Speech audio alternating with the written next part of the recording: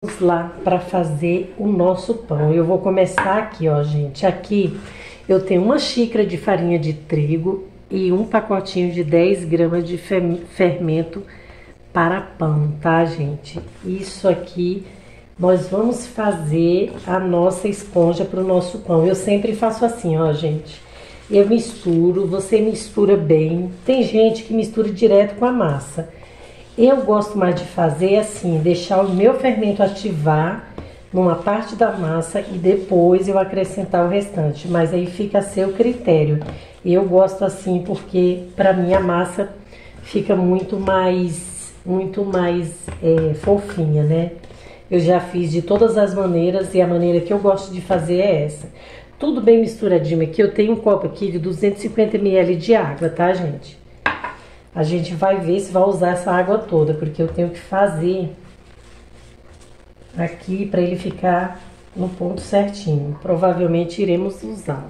Vou usar toda. Que eu quero essa base aqui bem molinha. É importante, gente, você fazer. Se você for fazer aqui como eu, separadinho, para o seu fermento ativar, é importante que essa massa ela fique bem molinha, tá? Mistura muito bem, ó. Você mexe bem para tirar aquele cheiro de fermento do pão, tá? Quanto mais você mexer aqui, ó, mais seu pão vai ficar sem cheiro de fermento, tá, gente? Isso é muito importante também, tá? Eu botei também uma pitadinha de açúcar, tá? Para o nosso fermento reconhecer aqui, porque a gente vai usar açúcar na massa, né, gente, ó. Então, ó, o que que eu faço aqui? Eu mexo, misturo muito bem, ó.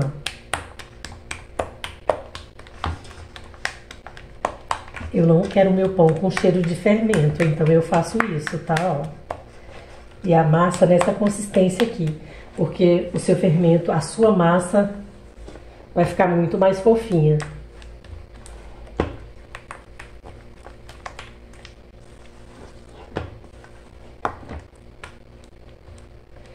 Aqui. E agora o que que a gente faz? Agora a gente vem cobre essa massa, tá, gente? Ó, cobre o nosso fermento. Vamos esperar, gente, ele ativar. Quando ele ativar, a gente volta fazendo pão, ok? O nosso fermento, olha como que ficou o nosso fermento, gente.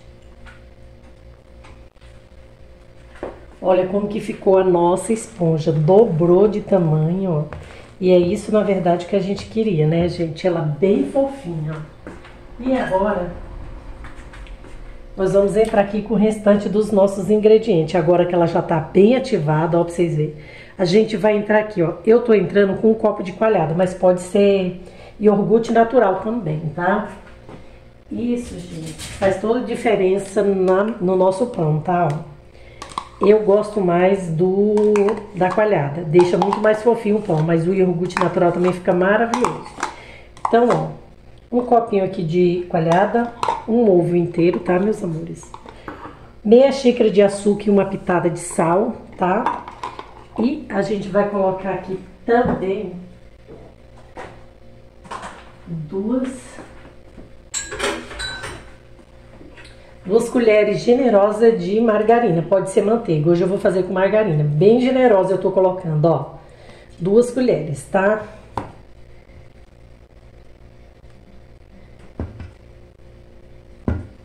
E aí agora a gente mexe tudo.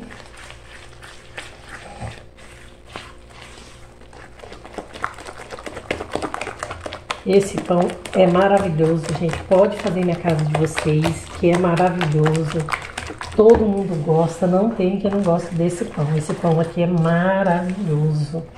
E muito facinho de fazer, né, gente, ó. Não precisa nem misturar muito aqui, ó.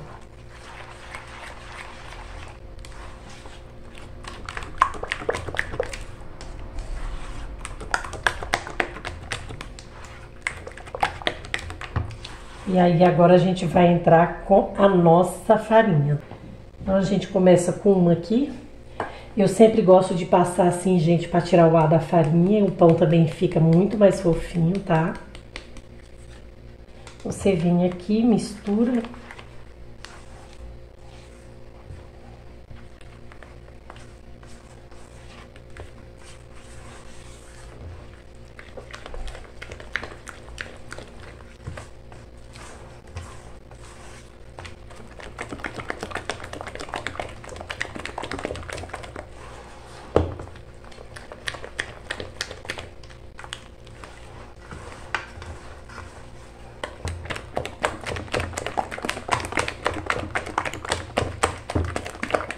Vai colocando a farinha e vai fazendo isso, vai misturando, tá?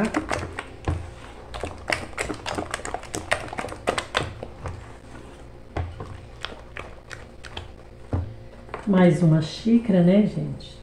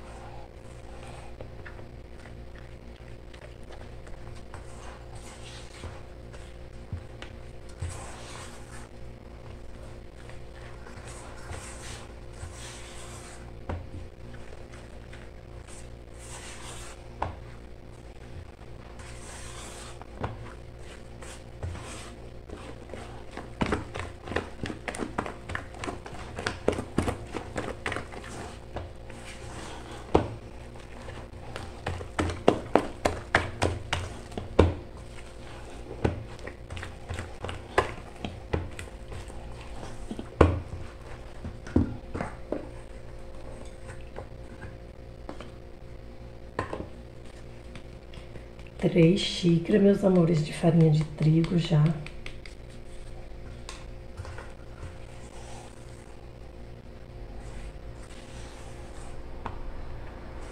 E assim, você nunca despeja o seu, o seu quilo de farinha de uma vez, né, gente? Sempre que a gente faz pão, o, o ideal é que você vai acrescentando aos poucos. Eu, particularmente, eu não gosto de pão muito duro, eu gosto de um pão bem fofinho. Se você ver aí no meu canal, você vê os meus pães, eu sempre faço com a massa molinha, porque o pão fica mais fofinho. E agora, não tem o que fazer, né, meus amores? Agora é a hora de sovar. Eu vou colocar o meu aqui na pedra. Como eu sovo ele molinho, eu já mostrei várias vezes aí pra vocês.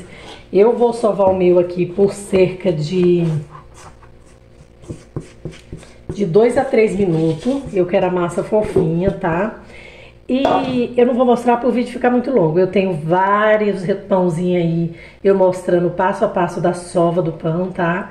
Esse eu não vou mostrar, eu quero um vídeo mais curtinho, ó. Foram três é, xícaras de farinha.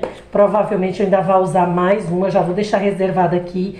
Se eu usar mais que quatro, eu também vou falar para vocês quantas eu vou usar, tá? Aqui até agora tem três, tá bom? Eu vou salvar o meu aqui já volto com vocês mostrando o ponto dessa massa, tá? Sovei a minha massa por cerca de dois minutinhos, não foi mais que isso. Olha para vocês verem como, como que ficou a minha massa, gente. Uma massa levinha, olha, de verdade. É, essa, você fazendo a esponja separada, fica a massa nessa textura que dá o ponto muito rapidinho. Ela fica uma massa molinha para vocês verem. Eu usei uma xícara, eu usei três xícaras e meia de farinha de trigo, ainda tem aqui para a gente abrir a nossa massa, num total de quatro xícaras. Você separa aí, tá, gente? Porque é de acordo com a sua massa, com a marca, muda de marca para marca a quantidade que você vai usar, né, gente? E olha aí, gente, olha a nossa massa, uma massa levinha, uma massa maravilhosa, olha isso. Olha que massa linda, gente, para vocês verem. Olha isso, olha. Muito fofinha. E aqui agora, a gente vai dividir essa massa aqui em quatro partes, tá, meus amores?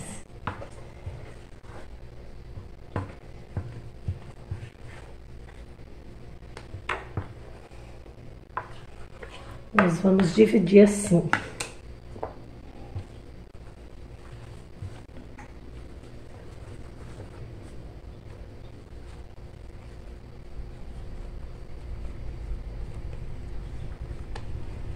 Eu não vou deixar minha massa descansar, não precisa.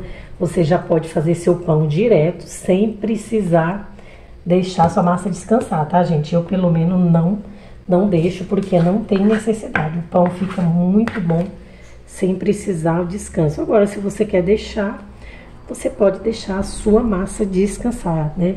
Aí vai de gosto, né, gente?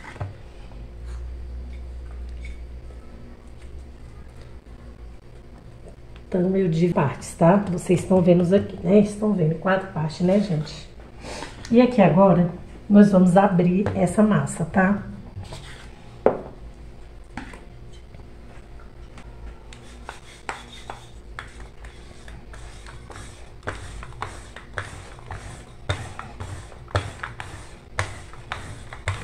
Agora você vem, você vai aqui abrindo a sua massa, devagarinho, virando ela.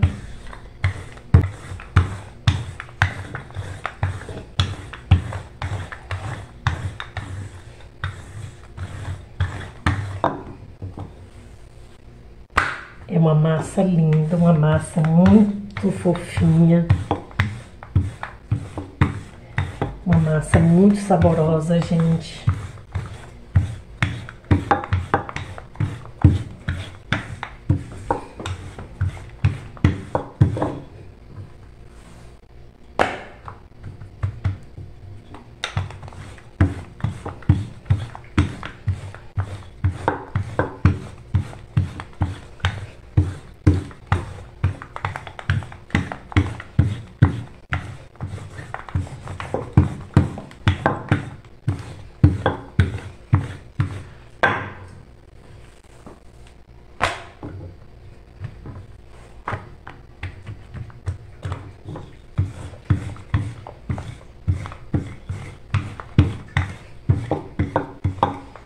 Que, que a gente vai fazer aqui agora? Aqui, gente, ó, nas beiradinhas da sua massa, se você quiser também.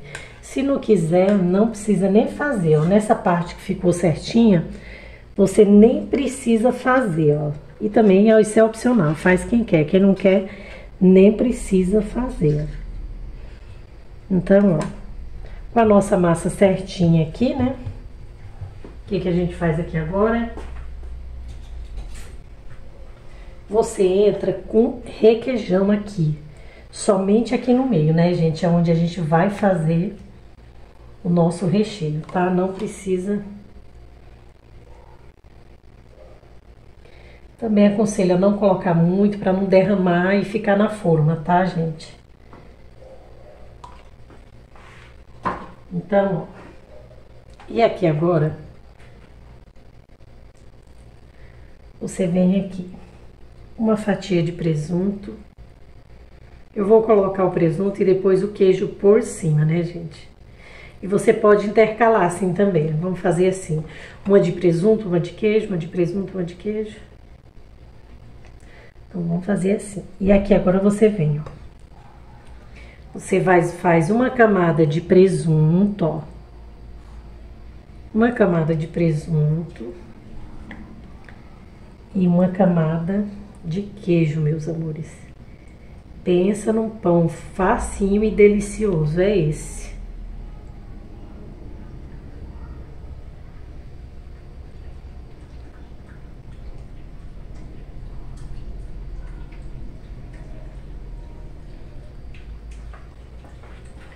E agora aqui é a gosto também. Se você gostar, você vem aqui, ó orégano, tá, meus amores, ó. Você gostar, você acrescenta um pouquinho de orégano no seu pão. E aqui agora, você faz isso aqui, ó. Você vem aqui com o seu pão maravilhoso, aqui a sua massa maravilhosa, ó. E aqui a gente faz assim.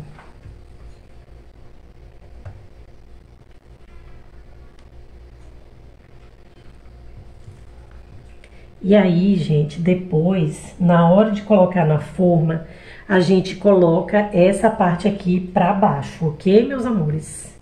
Então, vamos lá. Eu vou cortar aqui, gente, ó, uns quatro dedos, ó, tá vendo? Vou procurar fazer mais ou menos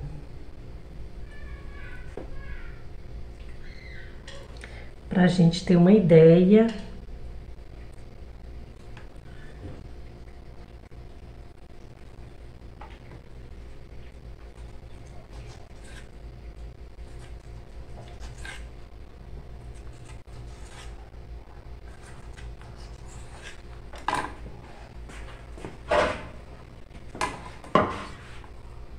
Você pega a sua forma untada. Espera aí que eu já mostro para vocês, gente.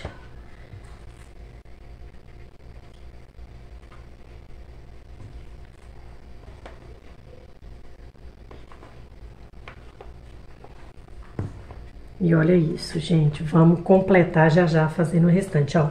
Eu vou ficar aqui fazendo todos iguaizinho aqui. Depois eu trago pra vocês ver como que ficou quando eu for botar aqui, quando eu for botar aqui pra ele crescer, tá bom, meus amores?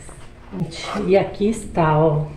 Aqui está os nossos pães feitos. Deu duas formas e sobrou esse aqui. Olha isso.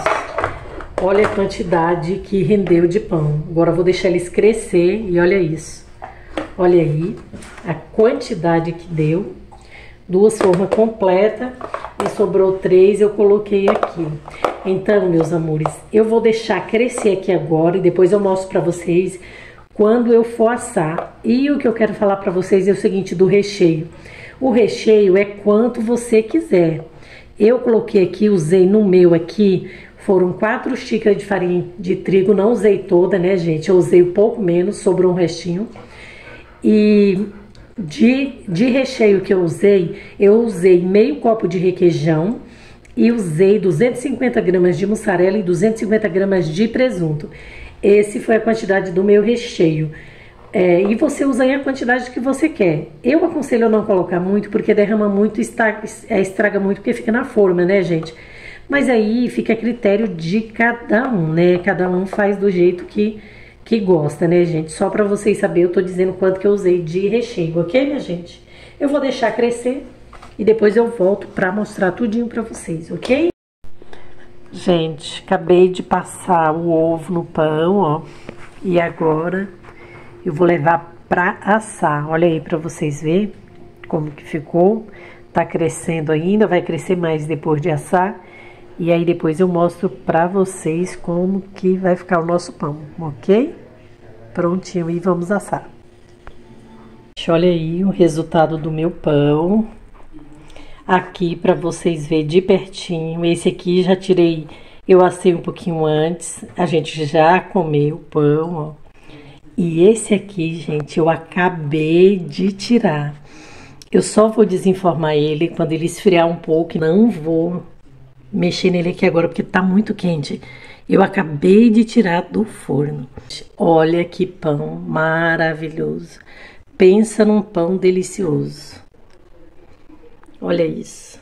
Fala a verdade, se não vale a pena muito você fazer seu pão. Olha isso, gente, de pertinho para vocês verem. Esse é o resultado do nosso pão, joelho com presunto e queijo. Olha isso, gente. Eu já comi, tá muito, muito, muito saboroso, gente. Vocês não têm ideia do quanto que tá gostoso.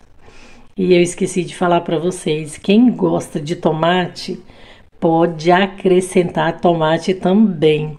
Eu não gosto de tomate no pão. Eu até gosto se for tomate seco, mas eu não tinha tomate seco aqui, então o tomate normal eu acho que não fica legal no meu gosto, mas para quem gosta fica perfeito também, olha aí. E esse é o resultado final dos nossos pães. Eu espero que vocês curtam essa receita, que vocês compartilhem que de vocês. Se você gostar, deixa um comentário, fala para mim de onde você está vendo meu vídeo. Fala se você gostou do pão, se você gostou da receita, eu vou ter o maior prazer em te responder, tá bom, meus amores?